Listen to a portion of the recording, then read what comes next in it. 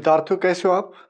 उम्मीद करता हूँ कि जो टॉपिक पहले पढ़ा था, उसका आपने समझा होगा और दोहरा भी दोहरा भी होगा। विद्यार्थियों, दोहराना बहुत ज़रूरी है।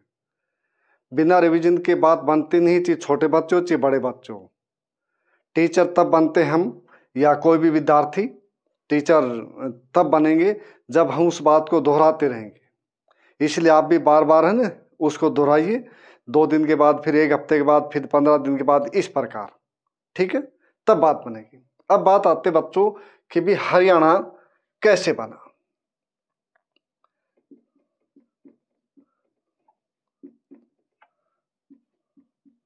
राज्य का उदय। कलियर विद्यार्थी अब सभी को पता है आपको कि भाई एक नवंबर 1966 को हुआ। बच्चों राज्य बना। अब इस बात को ध्यान से समझना कि भारत और पाकिस्तान और बांग्लादेश उस समय में एक देश था क्लियर ईस्टर्न पाकिस्तान और वेस्टर्न पाकिस्तान, ये कहा जाता बांग्लादेश उन्नीस सौ इकहत्तर में नाम पड़ा। इससे पहले ईस्टर्न पाक, ईस्टर्न पाकिस्तान था ये नाम इसका। पूर्वी पाकिस्तान, ये पश्चिम पाकिस्तान, ये था। अब विद्यार्थियों, सभी को पता है कि भाई, भारत और पाकिस्तान का जो विभाजन हुआ, उसका आधार था विभाजन का। क्या आधार था विद्यार्थियों? धर्म। ये आधार था। क्लियर अब इंडियन नेशनल कांग्रेस। ठीक है? इंडियन नेशनल कांग्रेस।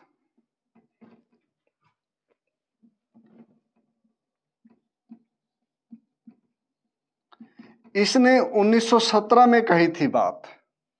ये ध्यान रखना। कि हम भाषाई आधार पर, भाषाई आधार पर राज्य बनाएँगे। ठीक है? राज्य बनाएँगे। ये बात कही थी इन्होंने।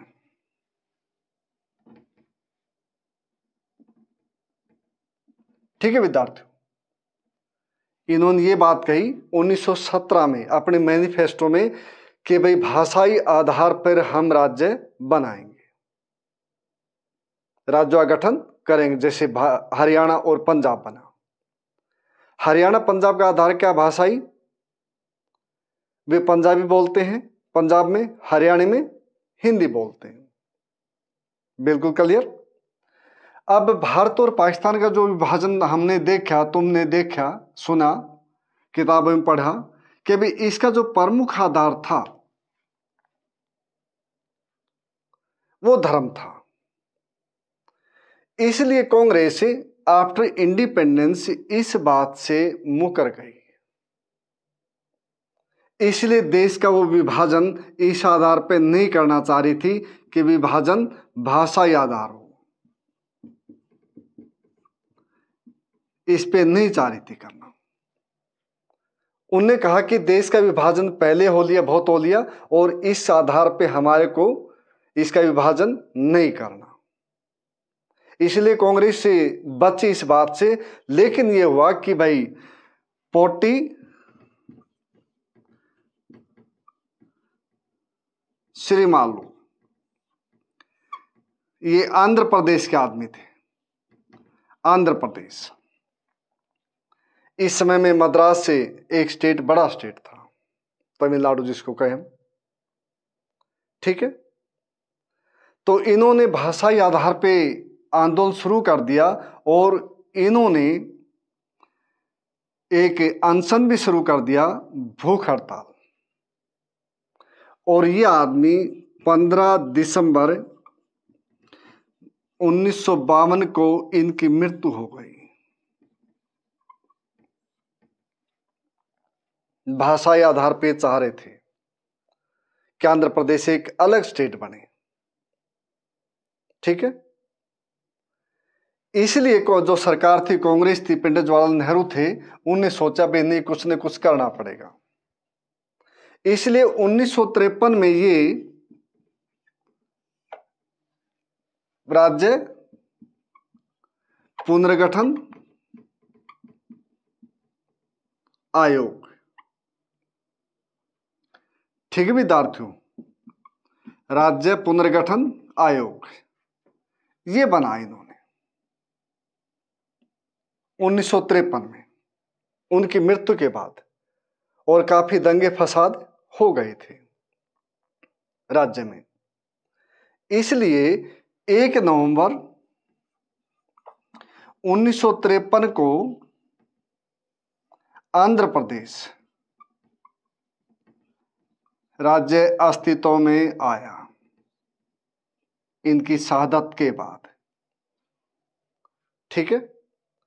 साथ ही साथ ही सरकार ने, पंडित जवाहरलाल नेहरू ने, या उस समय के जो प्रधानमंत्री उनने राज्य पुनर्गठन आयोग की स्थापना की। जिनके अध्यक्ष फजल अली। फजल अली। ये थे विद्यार्थी। और इनके जो मेंबर थे, वे हृदयनाथ कुंजरू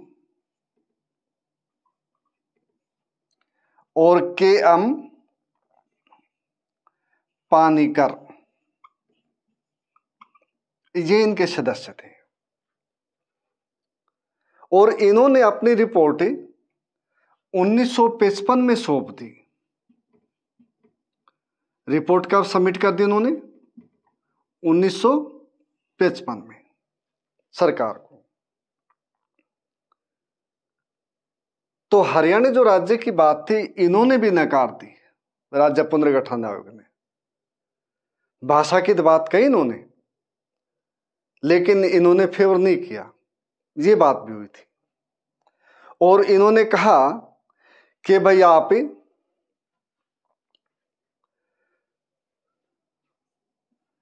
सोलह राज्य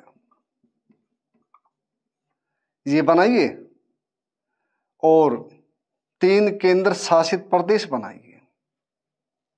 तीन केंद्र शासित प्रदेश। लेकिन सरकार ने यह किया कि सरदार, सरकार ने चौदह राज्य बनाए और बच्चों छह केंद्र शासित प्रदेश बनाए। इसी आधार पे। जो रिकमेंडेशन ने सोलह राज्यों को दी थी और तीन केंद्र शासित प्रदेशों की थी, लेकिन स्टेट ने चौदह राज्य बनाए और सॉरी केंद्र ने चौदह राज्य बनाए और छह केंद्र शासित प्रदेश बनाए। ये बच्चों। फिर इसी की जो आग थी, पोटी श्रीमालू की, दूसरे राज्यों में भड़क गई और हरियाणा में भड़की। मास्टर ताराचंद तो और फतेह संत फतेह सिंह। ठीक है ना? उन्होंने। और मांग की कि भी अलग होना चाहिए। और उसके आधार पे हरियाणा में फिर जो बातें चली, जेसी शाह। ये कमीशन बैठा बच्चों। जेसी शाह की अध्यक्षता में एक कमीशन बैठा इन्होंने। इन्होंने जो कमीशन बैठा ये तेईस अप्रैल। तेईस अप्रैल 1966 को बैठाया और इसने रिपोर्ट 31 मई 1966 को दे दी। केवल 38 या उनतालीस दिन में। इसने रिपोर्ट कब दी? तीन साल, ढाई तीन साल में। इसने केवल अड़तीस दिन में दे दी। इसने कहा कि हिंद पंजाबी और हिंदी भाषा के आधार पे राज्य का बंटवारा होना चाहिए।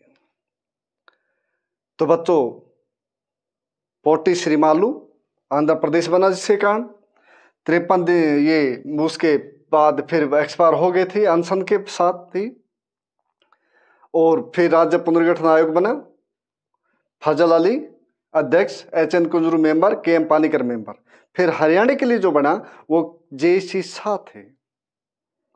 जे सी शाह और एस दत्त, इसके जो मेंबर थे फिर, एस दत्त। ठीक बच्चों, और एम एम फिलिप, ये थे।